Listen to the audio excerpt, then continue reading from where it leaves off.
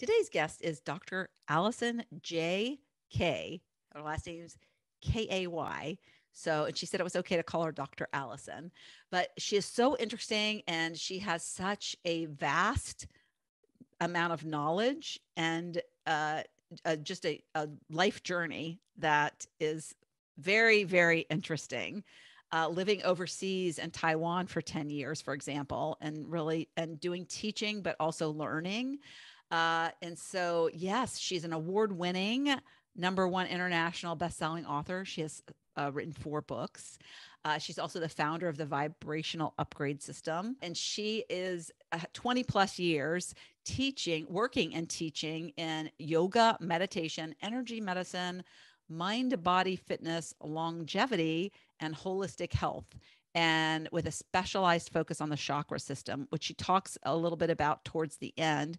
The first part of this episode is a lot about her journey from, you know, childhood to really what led her to going over into Asia. And so she started in Boston, went to San Francisco, went to Tampa, and it's just very interesting what led her to each next step.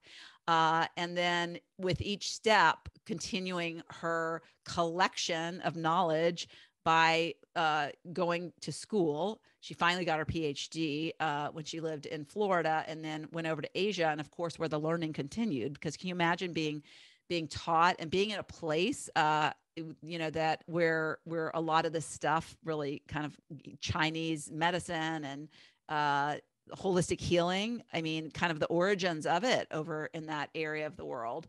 And so, yes, she is very fascinating. Uh, and I, I, we actually talked about her coming back on because so much of it was uh, of the episode was her backstory, and then we got to the juicy part towards the end. I don't feel like we ended up covering enough stuff. Uh, we ran out of time.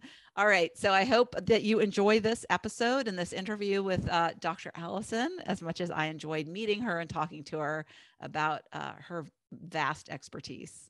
Welcome to another episode of Not Your Average Lives. And my guest today is Dr. Alison J. Kay So J is in the middle initial and K, K A Y. We have a friend named JK. So it's really funny that that's your name. So, yes, yeah, so we're going to have an interesting conversation because Dr. Alison does things that uh, not a lot of my guests do. And so I think it's gonna, yeah, I think, I think it's a, well, maybe they do it and they just don't know it, but it seems like you have more uh, gifts in this area. But she has secrets no one else uses to upgrade, inspire, and disrupt old paradigms. And so, and she has a community uh, and they're they're called VUPers. I love that terminology. Yes, and so Alison, I'm going to turn it over to you, Dr. Alison, and ask you to explain what a VUPer is.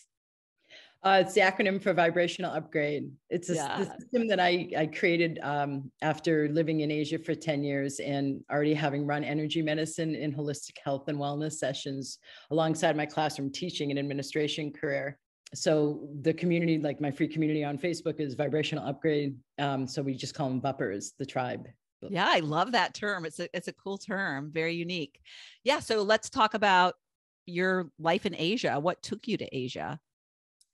So I know that um, it's typical to look for like that shift that changed my life. Um, and I've always been this way. And and it, I grew up walking out in the woods eh, that um, surrounded my home. I was lucky enough to live growing up about 30 miles southeast of Boston and surrounded by forests and woods. And, and my older brother and I would tromp through the woods every day after school and on the weekends. And he'd be in front of me, like jumping on dead tree limbs and breaking them, you know, with the boy antics. And I'd be like just connecting with everything, you know, and just really feeling a part of it all. And, and I didn't realize that until later, you know, because I just was so immersed. I didn't say to myself at age six, I'm connecting with everything. I just felt not separate. I just felt like I was part of the trees. And how do I, what what I mean? Like the trees could talk to me, like, like the trees were alive and they had an existence that wasn't separate from mine and so then in my teen years, I,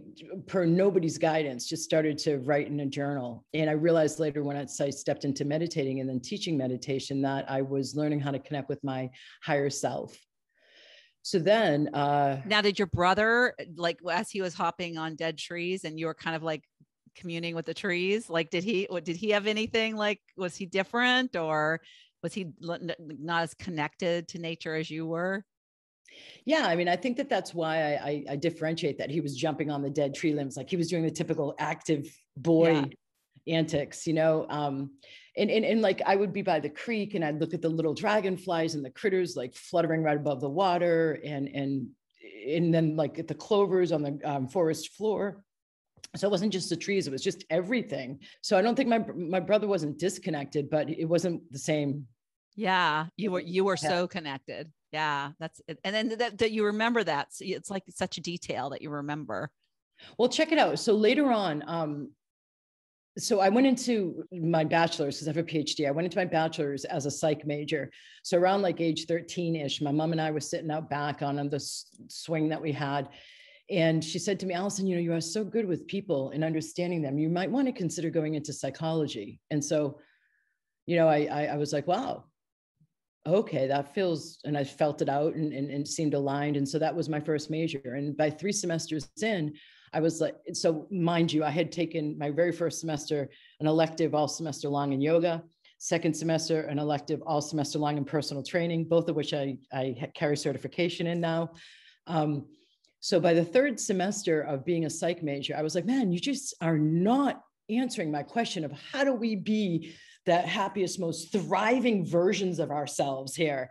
And so I switched majors and I, I, I focused a bit on learning what advertising and does to our mental framework and how we look at the world um, and the impact that societal conditioning has on us. And then I took another major, social thought, political economy.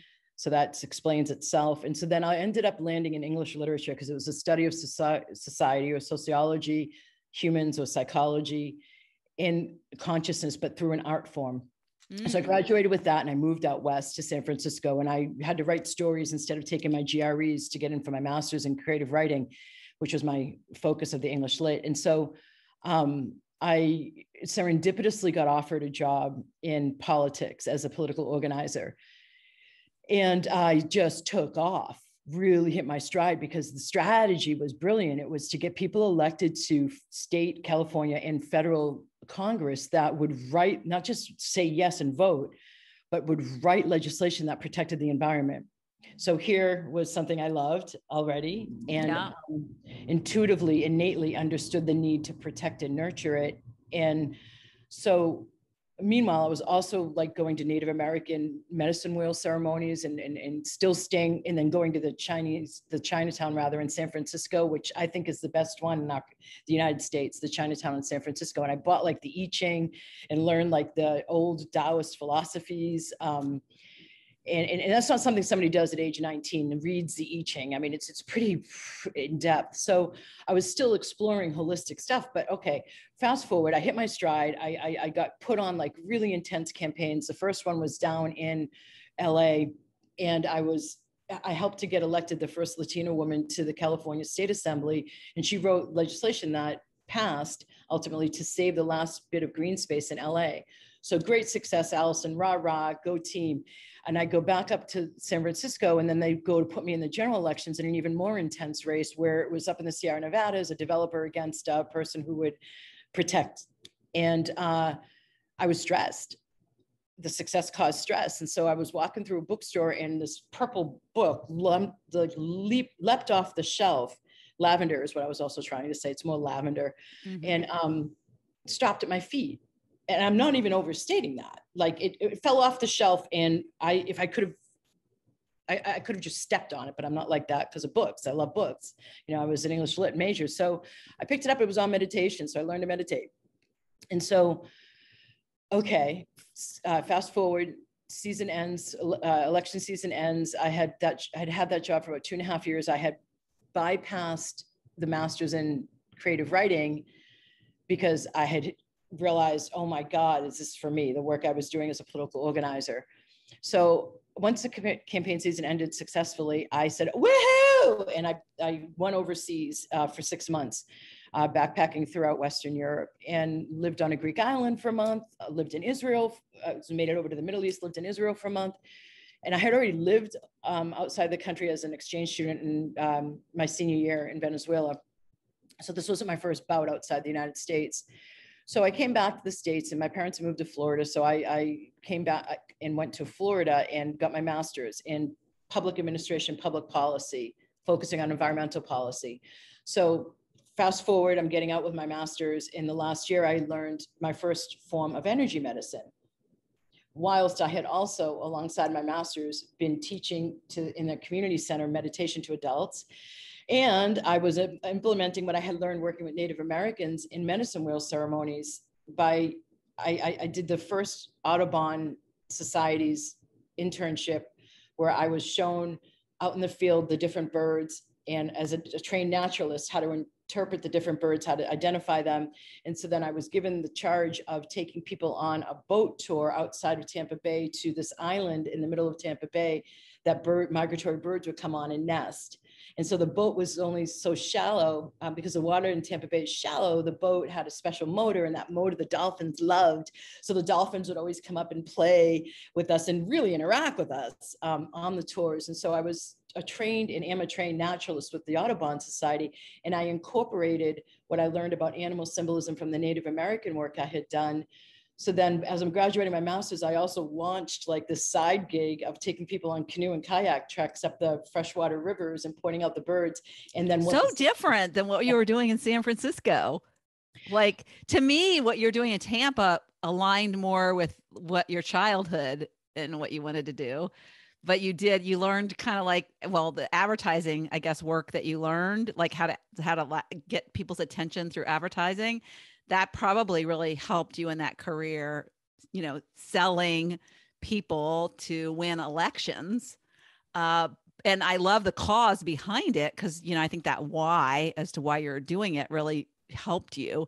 But such a different world. Yeah. I imagine you're outdoors all the time in Tampa and you weren't probably outdoors a lot. I don't know. So different. No, I've always so I've been doing cardio workouts since 13. Mm. And so mm. I've always, I ran cross country in high school. So I, I've kept up the hiking outside and going to the mountains and, and, and uh, skiing and, and being an outdoor girl. But um, yeah, I hear you. And it, but I was also in the classroom getting my master's, and I was also working at a restaurant to pay for my master's. And then I did this internship, and I was helping uh, the man I was living with raise his teenage son from his um, the divorce he now had had at that time from his marriage. So I was busy. Yeah. yeah. so um, I so in the as I was graduating though, I so what I'm saying is I kept up the focus on policy that will protect the environment with my masters. And meanwhile, I was teaching meditation. I was bringing in the mystical through like interpreting the birds out on the, the, the, the treks that I organized after I got trained with the Audubon Society. And I was um, I, I, then learned my first energy medicine modality.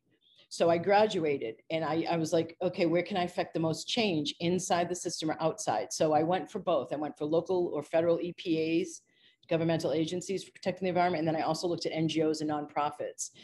And um, you know that feeling when nothing takes track, nothing has traction where doors aren't opening and there's a lot of pushing and forcing and sense of making things happen. So I knew to I knew to step back because that was what was happening. I mean, I was having fun. My boyfriend at the time would come home from work every day and I'd ask him, Hey, how about Alaska? Or Hey, how about Montana? Like I just looking at the different job opportunities. So nonetheless, I evaluated it and I said, okay, so what is the deal here? Why, are, why is this not moving forward? And what I got was if you want to affect more change, it's not ready. The market is too invested in fossil fuels. This is the late 90s. So if you want to affect change, work one consciousness at a time. Okay. So then what I chose to do was rely on my bachelor's in English literature in going to the classroom, teaching whilst furthering my energy medicine and holistic health and wellness side gig giving sessions and getting more and more educated, like in tonic herbalism and in other, uh, and teaching meditation now to the kids in the classroom. And I set up a uh, club with a male colleague for guy, boys that were diagnosed with ADD and ADHD, for example, still teaching meditation to adults as well. And then running energy medicine sessions and getting more and more training. And I remember two and a half years now into classroom teaching career, on a Saturday, hands her over a woman in a session. She's like a number three or four in a package of 10. And I was psyched, and so was she about the results we were getting. She was feeling a lot lighter, a lot happier. Things were getting easier in her life where there had been like consternation and, and difficult relationships. It was already starting to be more peace and ease. And so I was like, oh my God, this is great. How can I get even more robust results for my clients as my hands are over her?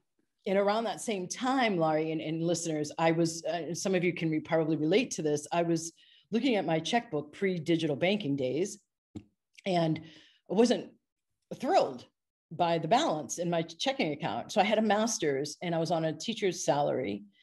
And all I wanted were basic housing, basic car, organic produce, and a massage per week, because I did see that as uh, preventative health 201 at least and I couldn't, I wasn't having an easy time making ends meet. And I, from having lived overseas already, I, I have this sense of adventure. I have this sense of I'm in a body. I want to explore and experience as much as possible. You know, let's see what else we can do here. And so, like le- reaching our human potential, which, if you look at it, is in great part why I left the psychology major because it was focused on what was wrong. And my first book's mm. name or title is actually What If There's Nothing Wrong?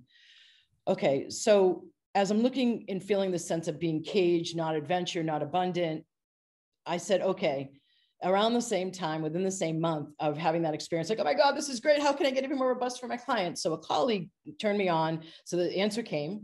A colleague turned me on to the international school system. I did what I had to do through the resume into the place that it needed to be travel to where I needed to travel. International school heads came in from all over the world. Candidates came in from all over the world in a hotel. And we I interviewed with all these different countries throughout the morning, the afternoon, the next morning, next afternoon. Same with the third day, got a bunch of job offers around the world and chose to go to Taiwan because I understood from my training and uh, thus far that in particularly the traditional Chinese culture in Taiwan, not mainland China, they were still connected to and using the practices of Asia being the seat of understanding of how energy works and how consciousness works. So that's where I went.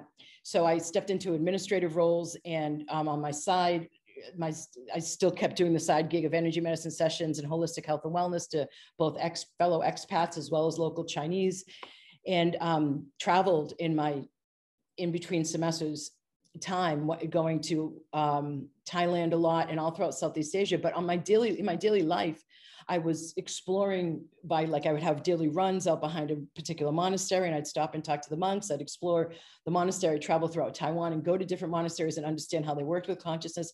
I'd get traditional treatments like Tuina massage or reflexology. I'd sit there with the chart in Chinese and I'd ask the therapist, like, what does this mean? What does this mean? So I was learning about how energy flows and then uh, in how consciousness works. And ultimately, in my 10th year of living over there, I went to India to get my yoga teacher training.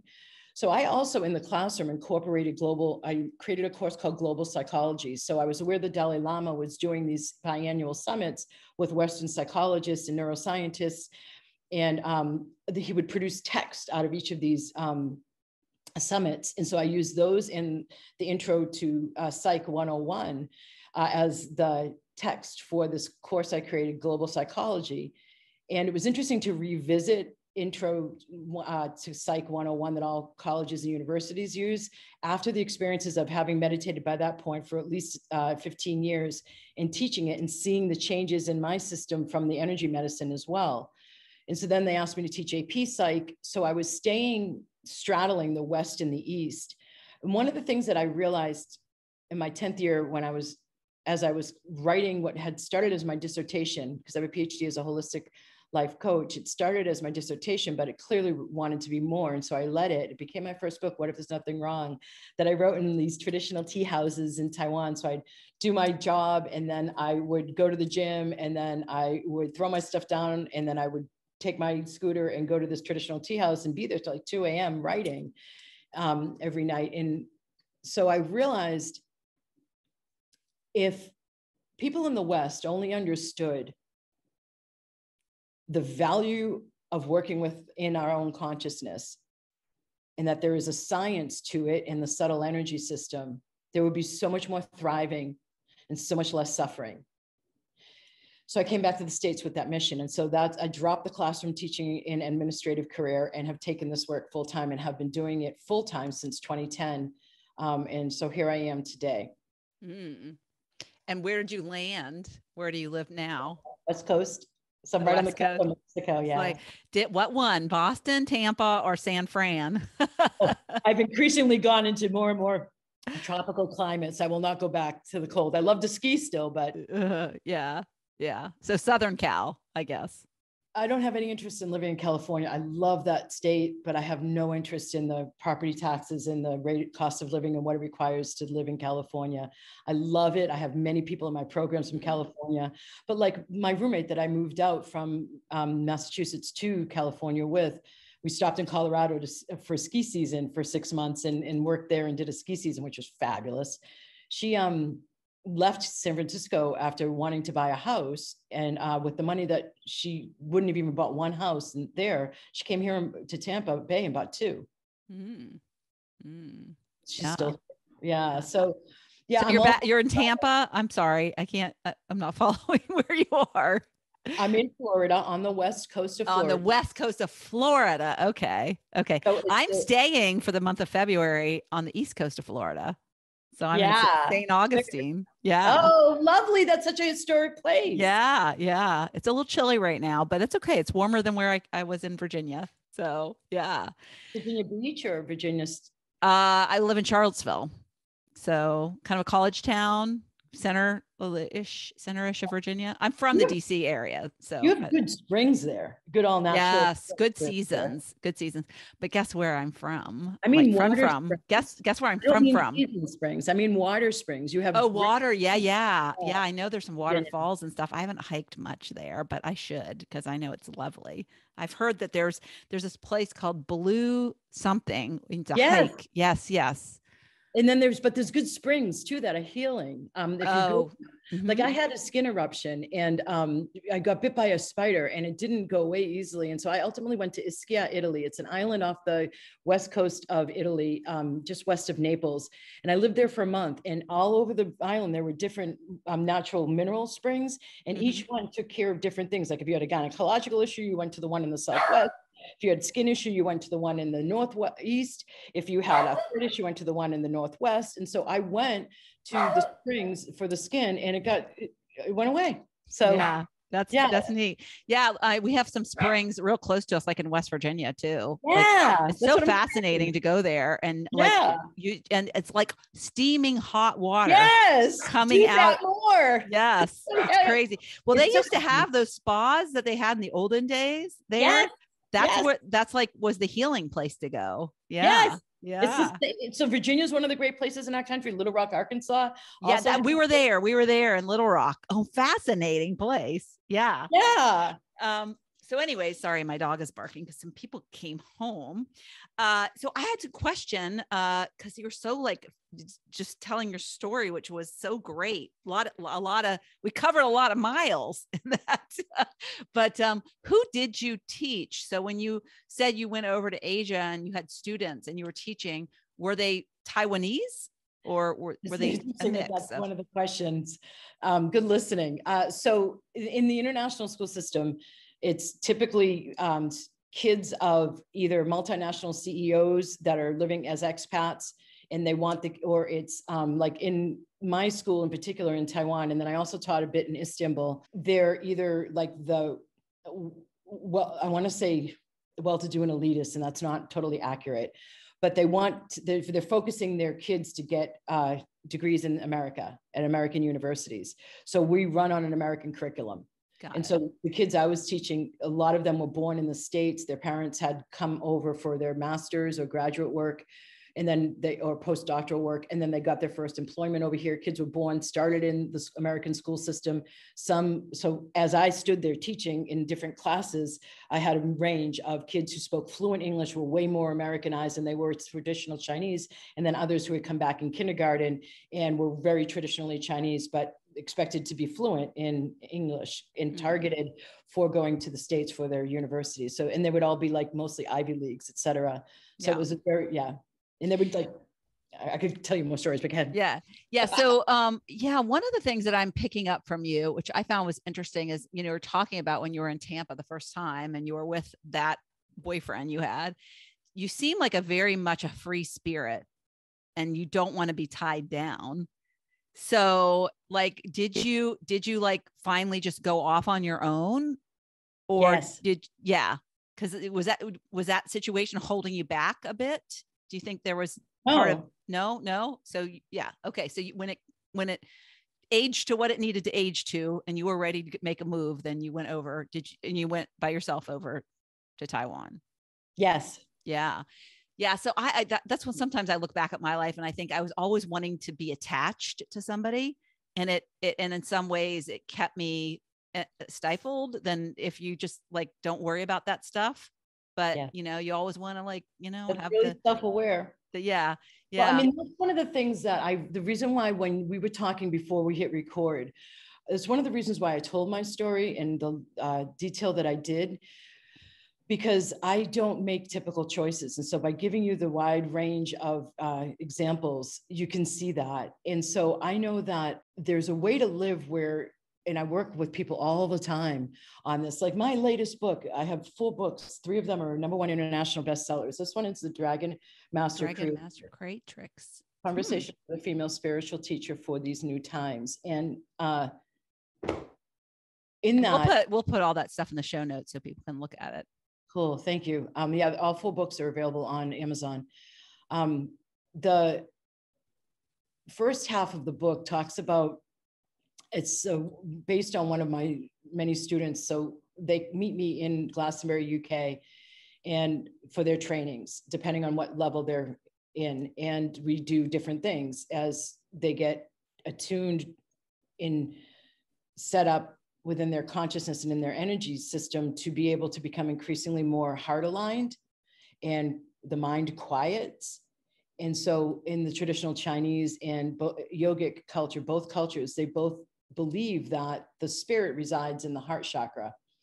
And so, one of the ways to translate that for your listeners is if you're if you're uplifted about an option that you could choose or you have some excitement and it could even feel a little bit like nervousness once you say yes to it and commit to it but if you have like a lighter feeling in your heart um, that's your guidance telling you to go for it. So intuition isn't like this big unwieldy thing only um, that you know it's seen through the third eye and you get these images and all of that noise. It's just simply what lights your heart up doing that. And so i say this because as they the stories in each beginning chapter are her in the community of students getting trained with them interacting with them getting taken to sacred sites getting taken to stone circles getting the training. And it's really fun. Um, it's a mystery because she's going there wrestling with the question of should i stay or go in her marriage?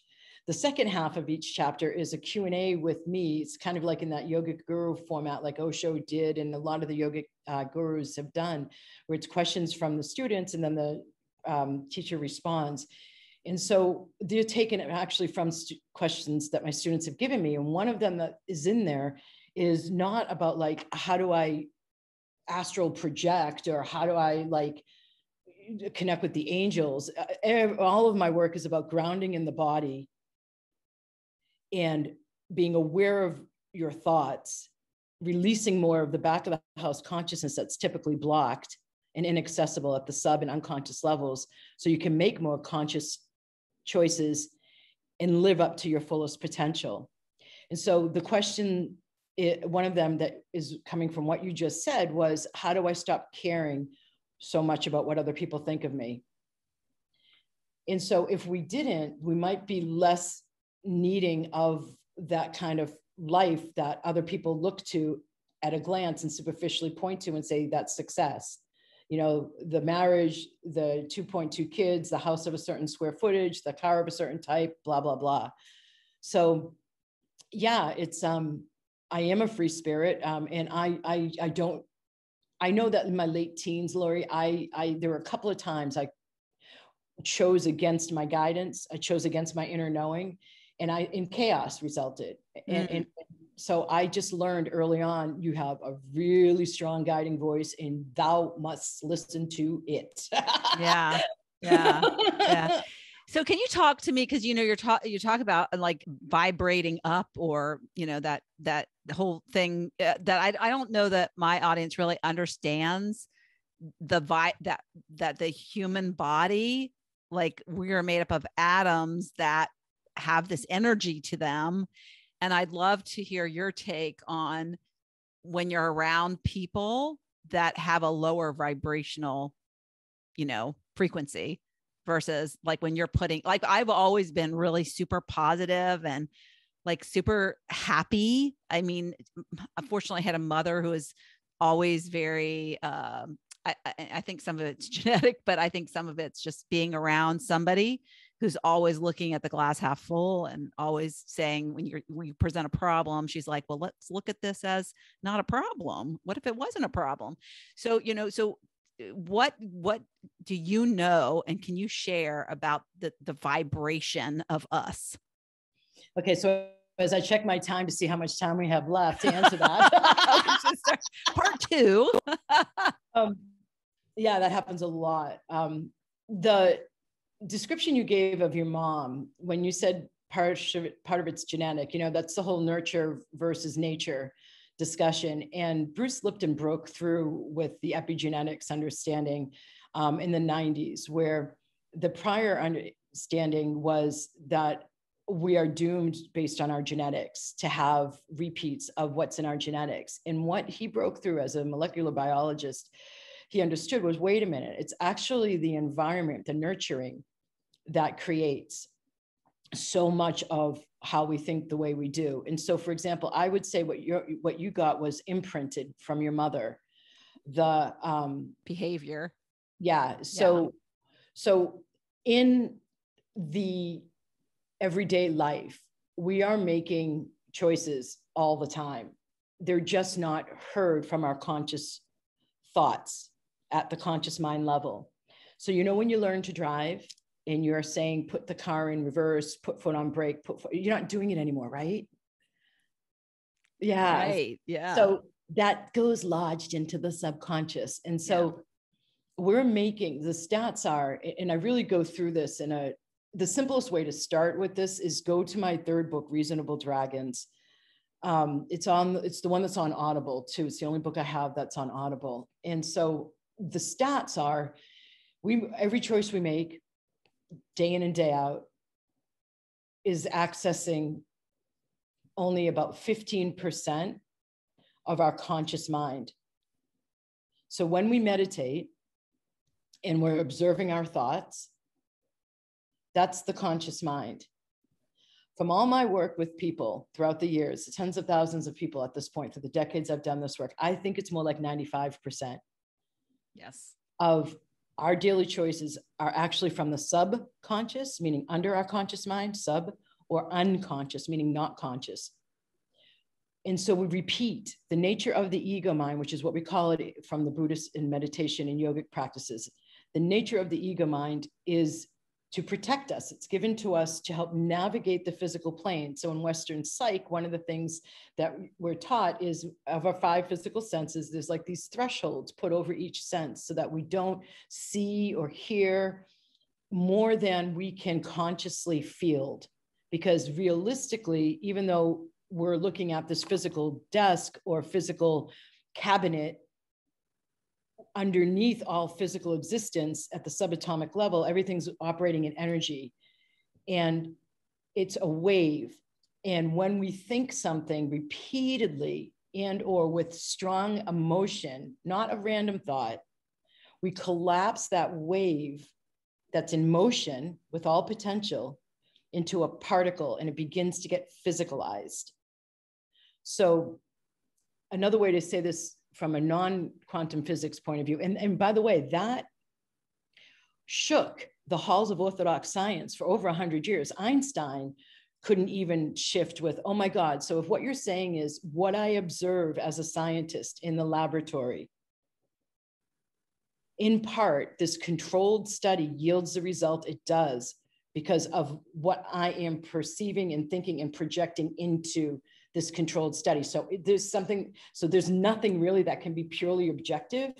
I'm involved as a part of it. And so Einstein couldn't handle that comfortably. So he went over to the work on his grand theory of everything. Um, and so where we are today now, quantum physics has the halls of orthodox science have begun to accept this. More and more people talk about this.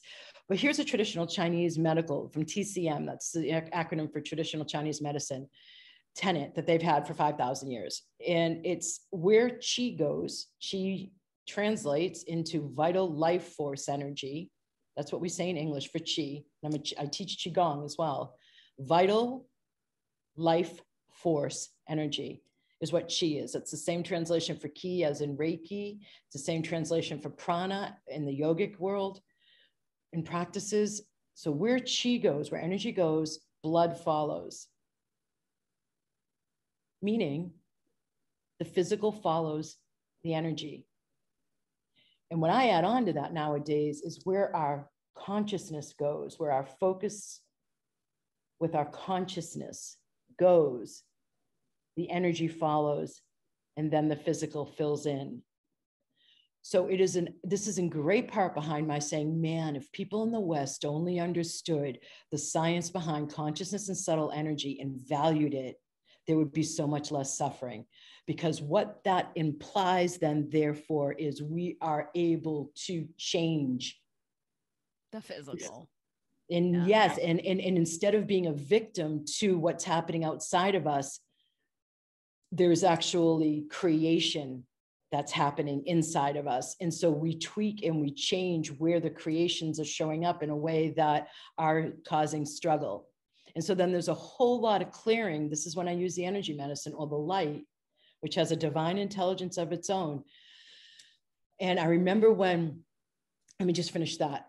So the light goes in and from I, I, have a really strong intuition i have a nickname hawkeyes and so somebody could come to me saying i feel blocked um, i have not been able to get pregnant and we've spent 10 this has happened in my signature program magic manifestation and money flow for example so tens and tens of thousands of dollars spent on fertility clinics and doctors and comes to me and i see where the blockage is from a holistic perspective and am able to clear it so a chakra means it's the intersection of the mind, the body, and the spirit. The word chakra translates as wheel. That's what it means. It means wheel. So we have seven of these throughout our body. They basically run along our spinal column. Each one's connected to a major gland. The biggest gathering of another bio um,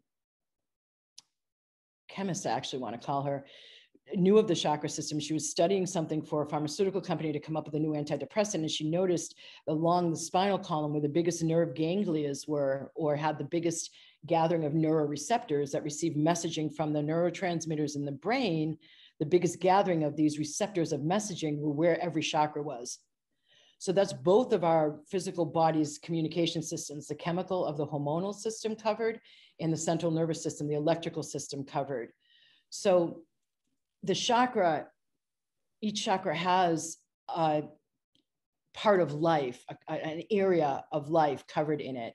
So the root chakra is more about your foundation. So if somebody was um, neglected in child early childhood, or they were rejected a lot in early childhood, or they felt unwanted, or they were abandoned, or in the womb there was a lot of suffering around uh, the parents not knowing if they're going to be able to have the child or not. I mean, you're in water in the womb. It's hugely transmittable of energy in, in, in, consciousness. So you absorb that in the womb. And so then your root chakra would become a little bit um, blocked. In your formative years, you would end up with every chakra has a right to it. The root is at the tailbone physically and in the coccyx. And it's um, do I have, uh, it's, I have the right to be here. So I've seen many people not ground in their bodies live more from their heads because innately they were not wired in with, they feel like they have the right to be here. Um, I'm not saying everything happens as a child, but so much happens zero to two. We're not separate from our parents. We feel and think what they do. And at two, with the terrible twos, when we start going, no, no, that's the independence developing of our own ego personality level self. And so from two to eight, we're busy looking around saying, okay, if this is how older sister gets that yummy feeling of smile and love and hug from mom, that's how she does it. Then the, for me to get that same feeling, I need to do what she's doing. And so that could be something like um, being a good little girl and not speaking unless spoken to. That conclusion that goes into the unconscious of that's how I get that yummy feeling, which then becomes a block in the throat chakra, which is in part related to communicating. I have the right to speak and be heard at the throat chakra. And so later on in life, that could become somebody has difficulty speaking up. So I, just to complete that example of the woman who couldn't get pregnant, she did get pregnant. I have another one in my program now. So there's it, going beyond just the physical existence and treating things at a physical level and understanding that we are creating the physical, in fact, by what's going on in our consciousness, particularly in what parts of our consciousness we don't hear the thoughts from, whether it's the unconscious or the subconscious. So, like trauma goes into the subconscious. Then we, as we clear that, those blockages, those old incorrect conclusions out, more of this chi or vital life force energy is able to then be accessed at the conscious mind level. So that percentage increases so that in our daily lives, we start to see, because we have new space created, that that old conclusion, I have to just speak when spoken to. I shouldn't speak up. That's bad. I won't get people's approval or love. As the new space is created, like, wait a minute, the world doesn't fall apart if I speak what I'm really thinking and feeling and I'm still loved and approved of when I speak. So the new conditioning, I call that's the other half of vibrational upgrade system. It's the applied mindfulness to coach somebody into creating new neurological pathways from that new opening. And then how to repeat that. So you're developing not only new neurological pathways with new choices available, new behaviors and new life ensues. Mm. Yeah, I mean, you're just a wealth of information. I tell you, I I I could sit here and go on for another two hours. I think, uh, and have more questions for you. So maybe we'll have to do a part two because I want to I want to dig into some other stuff. Um, but we need to close up the this episode. So yeah, so I would love to know what living a not your average life means to you because clearly you've lived a very not your average life. But if you come to, you know, let's put it on like, say you're working with a client and they come in and they're living a very, you know, not, I would say average and, and, maybe from your perspective and what you do, maybe a very blocked where they're not like leaning into their intuitive self or their higher self. Um, how do they what, what what would you advice would you give them for stepping into that not your average life that you have clearly been attuned to since you were a very small child so the first thing that they get is um, my chakra series where mm-hmm. so the first thing really is get clearing listening listen to these clearings and activations so the first thing is, is to go right at their blocks. And then once, and so if they're an in-person or a remote client one-on-one capacity, it's let's get, let's get the um, energy and light right into your system. So it's not relying on me, it's going right to consciousness or the, or in, in the consciousness, the light, the chi, the vital life force energy has in, at every core, the divine intelligence. It knows what to do I'm not the one deciding. Somebody comes to me with chronic back pain. I teach this to my students as well as I have seen this over and over again. People who come to me and do with chronic back pain, and I'm working on their knees. Why am I working on their knees? Why am I not being guided to just work on their, do the hand position for the lower back? Because they're, the divine intelligence within the light knows what to prioritize. And so we need to support the knees because they've been taking the hit mm. when the back mm. went weak. So yeah. first, yeah. So Yielding. So understanding the seven chakras is kind of like the first step. No. And no, no. No. Um, just you could go to, I mean, you could go to my website, AlisonJKay.com or vibrationalupgrade.com, and you could go to the chakra series. There's lists with each chakra that lists the different blocks that are typical. And then there's sample clearings and activations. You could go and self-assess there and you uh-huh. could the series. Oh, that's but awesome.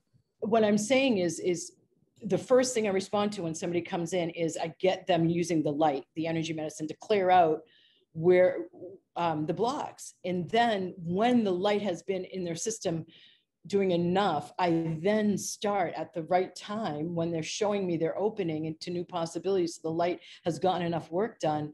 That's when I start the applied mindfulness coaching of, okay, so now look, you don't have to always be quiet mm-hmm. and speak what's spoken to. So then helping coach them into new, recognizing they have new choices helping them have the courage to make the new choices. It's a gradual coaching process. So I have certification in uh, um, permanent behavioral change as a part of my continuing ed as a personal trainer. I'm not going for like, you know, just, I want permanent behavioral change for people. I want people to be thriving. So I, I don't have a quick fix. It's a, it's a process. And so one of the things I will say though is like, so if you have this if What's that? it's, a dis- it's a literal disruptor. Um, ah, okay. So I was like, "Are you? Is it a fire alarm? Do you have to leave?" it, no, it's it's so if you're having a thought that you're you're you're like you actually hear and you pay attention to instead of busy with your tasks and not really listening, question it. Yeah.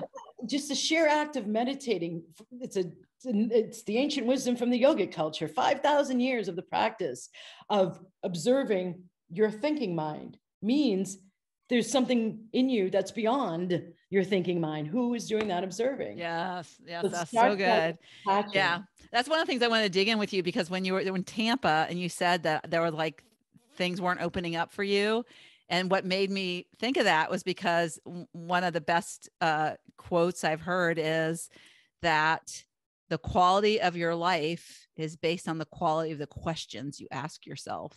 Oh yeah. And I actually have a new group of students that I'm working with, and we I told them that last night. I said, what I want you to start doing and be aware of is a what thoughts are coming up like that are stopping questions from even like going through like you're you're just basically cutting off any questions by saying i don't know you know? And so and then like you know what are what are you what are your questions coming up with and what are the answers within you? Because you know just think about just start thinking about the questions. You don't even have to come up with good questions yet. Just think about what how creative are your questions that you're asking yourself that and it could be just that as simple as that not mm-hmm. asking the right questions. So mm-hmm. that yeah, I thought that was really interesting, and we could have delved into that a little bit more. But so yeah. much more with that, yeah, yeah, yeah, so much more with that. Well, thank you for being here, and thank you for uh, like all the wisdom you shared in such a short time. I think you like that was a speed read through your life. So yeah, definitely. It's an honor visiting with you. Yes, yes. Well, so nice meeting you. I love meeting people like you that gosh, it makes me feel or like I need to get out there more and learn more stuff. Good. Good. Yeah. Accomplished, yeah. inspired. Yeah. yeah. Okay. Thanks. Thank you so much for tuning into the Not Your Average Lives podcast. If you haven't yet, make sure to subscribe on iTunes if you have an Apple device. You can find free resources and learn what else I have going on at the moment that might interest you on my website at notyouraveragegrandma.com. You can also find me on Instagram or Facebook at Not Your Average Grandma. If you liked this episode, it would make my heart so happy if you could leave me a five star rating. You can also add a review to let me know what you like about this podcast, which will help spread the word about it to others who need a little midlife inspiration. As always, be you, listen to your inner voice, and focus on reigniting that lost spark so you can start living your own, not your average life.